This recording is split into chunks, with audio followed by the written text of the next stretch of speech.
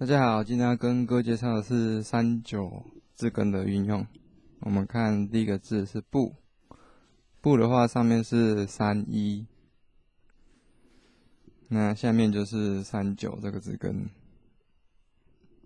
好，这边“不”，再来画平，它左边一样有“不”的话，我们一样取三一，然后是三九。好，接着的话是一横，然后最后是七跟八倍。好，这边，那再来的话，平草字头正交四，再来是三一，接着是三九，那最后呢一样七跟八平。好，以上是三九字根运用的介绍。